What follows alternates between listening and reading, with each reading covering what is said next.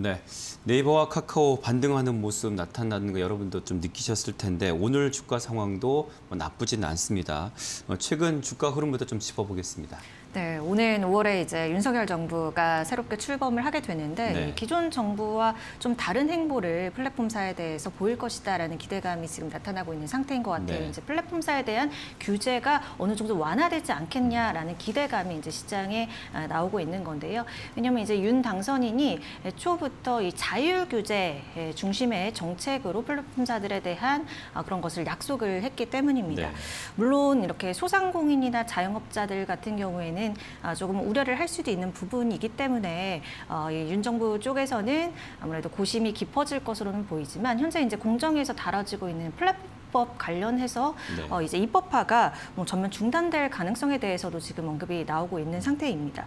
그래서 이런 부분들이 언급이 되면서 이 네이버, 카카오 두 양강 아, 플랫폼 업체들의 주가가 최근 이제 탄력적으로 올라오는 움직임이 나타나고 있는데요. 네이버 같은 경우에는 사실 2월부터 3월 초까지만 해도 한 30에서 33만 원 선 답보 상태를 보이고는 있었습니다. 그래서 박스권 흐름이 길어졌던 거는 맞는데 어, 대선 이후 바로 그 다음 날에 급등하더니 최근까지도 상승세가 지속이 되고 있는 상태이고요. 네. 카카오 역시도 작년에 액면 분할 이후에 뚝 떨어졌었습니다. 1월 말에 8만 2천 원 선 최저점까지 좀 낮아진 상태였는데 현 시점까지 보니까 한 20% 이상 꾸준히 오르면서 오늘 장에서는 조금 쉬어가고 있는 것 같기는 합니다만 11만 원 선까지 올라온 움직임이 나타나고 있습니다. 근데 그럼에도 불구하고 양사 모두 봤을 때 지난해 고점이죠. 6월, 7월에 비해서는 아, 현재까지 낙폭이 굉장히 많이 키워진 상태이기 때문에 확실하게 좀 완벽한 재기 이런 반등을 노리고 있는 투자자분들이 많으실 것 같아요. 그래서 네. 오늘은 이 카카오와 네이버의 현재 동향들이 어떤지 좀 자세히 점검을 해보도록 하겠습니다. 네. 사실 뭐 카카오 같은 경우에 좀 내부적인 문제들도 좀 있었고요. 그러다 보니 최근에 이제 양 빅테크 기업들 새 수장을 좀 선임했는데 어떤 그런 선임 어떤 측면에서 봤을 때 뭐 이제 두그 선임된 분들 좀 이미지라든지 그동안 또 추구했던 방향들을 봤을 때 왠지 좀 기존과는 달라진 그런 회사 가치를 좀, 좀 잡아가고 있구나 이런 느낌도 들 더, 라고요 어떻습니까? 네, 많은 기대감들이 나오고 있는 것 같습니다. 네. 말씀해 주셨던 이제 새 수장 선임과 관련해서도 뭔가 새로운 모습을 보여지지 않을까. 또 네이버 같은 경우에는 30, 80년생 또새 CEO가 맞아요. 이제 네, 네. 들어가게 된 거잖아요. 근데 작년부터 워낙 말이 많았었기 때문에 이 경영 쇄신에 대한 그러한 기대감들 목소리들이 좀 높아졌습니다. 네이버 같은 경우에는 직장 내 괴롭힘 문제 그리고 카카오 같은 경우에는 뭐 경영진의 도덕적 해이 그 그렇죠. 스톡 옵션과 네, 관련한 네. 내용들이죠. 그리고 어, 문어발식 경영으로 인해서 뭐 골목 상권을 침해한다 이런 것들 때문에 좀 불만의 목소리가 높아졌고 더불어 그것과 관련해서 이제 플랫폼사들이 규제를 해야 된다라는 목소리들이 여기서 나온 것이었죠. 네. 근데 이 시점에서 어쨌든 이제 새 경영진들이 어쩌한 어떤 새로운 방안으로 어, 새로운 정책으로 이것을 필 것이라고 예상이 되고 있기 때문에 좀 초기 행보부터 좀 남다르게 나타나고 있는 상태인데요. 일단 공통점이 책임 경영에 대한 의지를 강력히 좀 피력을 하고 있다라는 겁니다. 우선 네이버 쪽에서는요, 예, 새 CEO, CFO가 자사주를 매입을 했습니다. 이틀 전이었는데요. 최수연 CEO와 김난선 CFO가 아, 각각 자사주 314주 가량을 매입을 했다라는 소식이 전해진 건데요. 아무래도 이제 CEO 입장에서 장기적인 성장을 확신을 하고 좀 책임 경영에 대한 의지를 포명한 것이 다. 이렇게 해석을 해볼 수 있는 부분입니다. 그리고 이 카카오 쪽도 이제 남궁은 대표가 이제 내정이 되면서 아, 이 행보에 대해서 지금 이제 관심이 모아지고 있는 상태인데 대표 임기가 2년인데 이때까지 주가 꼭 15만 원 선까지 올라오게 만들겠다고 했습니다. 그러면서 그 이하에서는 이제 스톡 옵션 행사도 하지 않겠고 또 최저 임금을 받으면서 일하겠다 이렇게 이야기를 한 네. 상태이거든요. 그리고 이와 더불어서 내년까지도 이제 잉여연금 흐름에서 어, 15에서 한 25% 가량은 어, 자사주 매입 소각에 사용을 하겠다. 어쨌든 이제 기업 가치에 대해서 좀 확신을 주는 그런 멘트들을 하고 나선 상태입니다. 네. 양사 보면 뭐 글로벌 해외 투자도 아주 서로 경쟁적으로 나서고 있던데 각사가 주목하고 있는 사업 분야 어떻습니까? 네.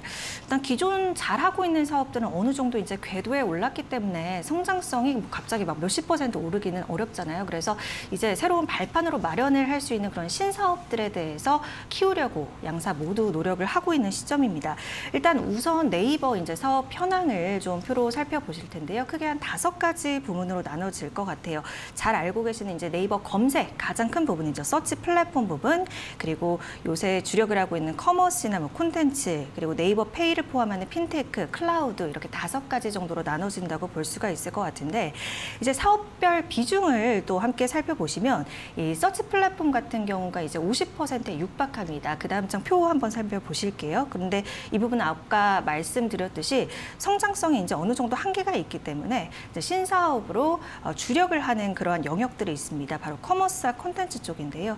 commerce 같은 경우에는 이제 네이버가 지난해 신세계 이마트와 함께 이제 지분 교환을 나가고 있으면서 확장을 위해서 좀 노력을 하고 있는 추세잖아요. 그래서 이제 추가 성장 여력을 확보하기 위해서 이제 commerce 쪽도 노력을 하고 있는 상태이고 콘텐츠 시장도 요새 굉장히 집중을 하고 있습니다. 특히 웹툰 쪽인데 이게 웹툰에서만 끝나는 것이 아니라 이 IP를 이제 팔아서 영화화든지 드라마화든지 이런 부분에서 이제 부가가치를 창출할 수 있는 그런 여력들이 좀 크게 생기고 있는 부분이기 때문에 집중을 하고 있는데요. 이미 네이버 웹툰 사업만 보더라도 지난해 연간 거래액이 1조 원을 넘어섰다라고 합니다. 그래서 이제 관련해서 지난해 왓패드 인수가 좀 있었고 네. 그리고 이번 달에는 또 네이버 웹툰이 유럽에서 이 총괄 법인을 또 새롭게 세우기도 했습니다. 그래서 이 외에도 또 신사업으로 우리가 언급을 할 수 있을 것이 뭐 메타버스 관련한 이제 제페토라든지 또 중고 거래 플랫폼이죠. 크림 같은 경우에도 굉장히 네이버 쪽에서 신사업으로 눈독을 들이고 있다, 신경을 쓰고 있다 이렇게 볼 수가 있을 것 같고요. 이어서 이제 카카오도 좀 살펴보도록 하겠습니다. 사업별 현황을 좀 보시면 크게는 두 가지로 나눠집니다. 표 함께 살펴보실 텐데요. 플랫폼과 콘텐츠 부분 이렇게 나눠지는데 이제 세부적인 내용은 좀 확인을 해보시면 좋을 것 같은데 이쪽도 마찬가지로 아직까지 플랫폼 부분에 조금 뒤처지고 있기는 합니다만 매출 비중 한 47% 상당을 차지하고 있는 콘텐츠 부분에 대한 성장성을 높게 보고 있습니다. 이제 대표적인 게 이 스토리 부분에서 웹툰, 페이지, 피코마 이쪽인데요. 뭐 내용은 비슷하고요. 근데 이제 피코마 같은 경우에는 카카오가 일본에 설립한 자회사인데 이제 일본에서 종합 디지털 만화 플랫폼 피코마를 운영 중인 곳입니다. 이제 플랫폼 같은 경우에는 아, 이 피코마 같은 경우에는 이제 프랑스에서 정식 서비스를 아, 시작을 하기도 했고요. 이외에도 이제 블록체인을 핵심 기술로 아, 키우겠다라고 카카오 측에서 얘기를 한 상태여서 음, 블록체인, NFT 관련한 이제 확장세 역시나 주목을 할 부분이 아닐까 생각이 듭니다.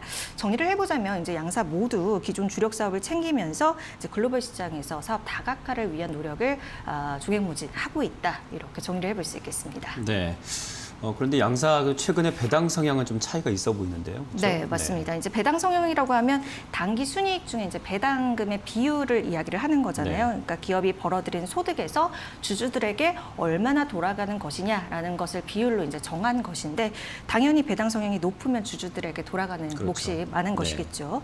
근데 이제 작년 기준으로 양사 배당 성향이 소폭 차이가 있었습니다. 일단 네이버 같은 경우에는 배당 성향이 역대 최저 수준으로 좀 낮아졌습니다. 0.5% 인데 어, 사실 이 단기 순이익이 급증을 한 부분이 있어서 어, 기대감을 키웠었습니다만 어, 2011년 주주 배당을 개시한 이후에 이제 최저 수준으로 떨어진 이유를 살펴봤더니 사측에서는 예, 작년에 이제 일본 라인이랑 제트홀딩스 이렇게 통합하는 과정에서 좀 이 현금분이 늘어나지는 않는 일회성 요인이 어, 회계상으로 좀 반영이 됐기 때문이다. 그래서 이 배당률이 크게 늘어난 것은 아니다 이렇게 언급을 했고요.